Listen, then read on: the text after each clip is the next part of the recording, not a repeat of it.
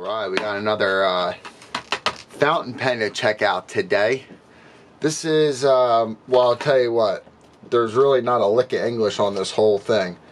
Right here, where it says Hero, that's the name of the pen. It's a, it's a Hero pen. Other than that, you don't see any English on here.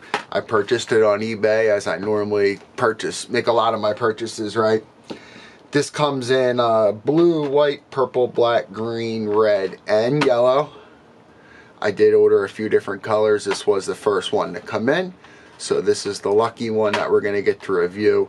What I was going to do eventually is the different colors I'm going to have the different ink. So like the red one will have some red ink in it. A green one will have green ink and so on. But today's goal is to check out what they sent us here, use their ink and everything and see how we like it. Because this is another $5 pen. Alright. I've been I've been on this journey to figure out what the difference is between all these pens. Why are some $5 and why are some $500? I don't have any $500 pens yet. Alright, we'll get there some way, somehow. We're going to get our hands on some of these expensive, expensive pens and we're going to figure out what all the hubbub is. I'm not quite too sure yet because this is all we've been messing around with, the cheapy cheaps. And I think most of you probably, if you would purchase any of these, would be messing around with the cheapy cheaps too. All right, so there it is. That's what's inside the package. Uh, it's a red plastic pen. It says Hero on it. Very, very lightweight.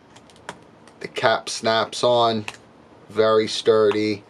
You have a nice big clip here, which is cool. I love when the pens have clips. We can turn it around, we can put it on the back of the pen. That's pretty cool. Something I noticed right away is the nib's a little bit different than most nibs, right? It's like completely flat on the back completely completely flat. So I can't wait to pop a cartridge in there and see how this puppy works. I'm not going to clean this tip this time. I'm going to leave it just like that. The last pen I had real trouble uh, using the pen. It wouldn't flow. I have a feeling that the plastic here had something to do with it I had cleaned that plastic and took away the sheen maybe. I, I don't know guys. I really don't know.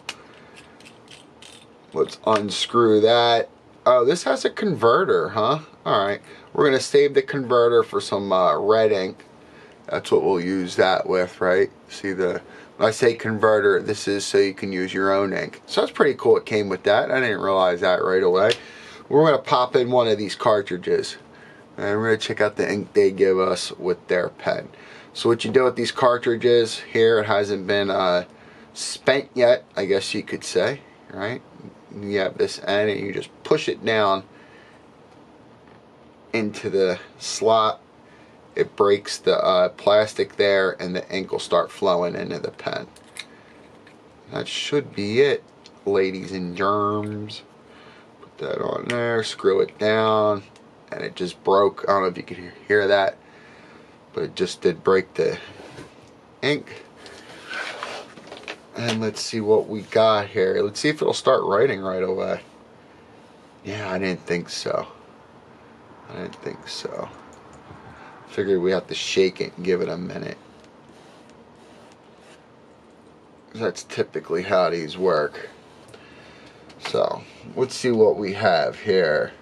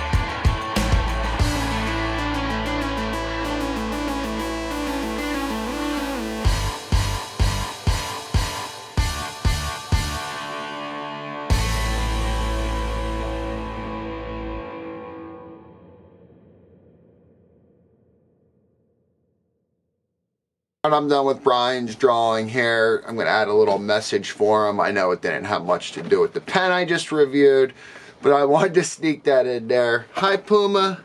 Want to come see Brian's drawing? Oh, one of the things I nearly missed uh, before wrapping up the review is the fact that you can see the ink inside. See that little cartridge and you could tell what color you have. You know, like I said, I was going to use the pens for red for red, blue for blue, green for green. But conveniently, it doesn't really matter. I can use them for anything I want because I can see the ink inside.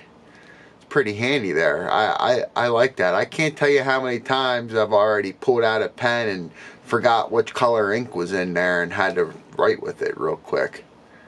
I do still have this one. I found it. I'm Gonna slap the signature on there like he asked. Yes, Brian, I will send that out to you. There you go. All right. Anyway, guys, don't forget, check out your Hero fountain pen for five bucks. This thing's pretty damn cool. Hopefully I'm going to get more of these in and uh, I can start giving some away so you guys can try them out too. It's only five bucks. I think I can afford that. Have a good day. Have a good night. Have a good whatever it is, wherever you're at. And I'll see you guys on the next video. Peace.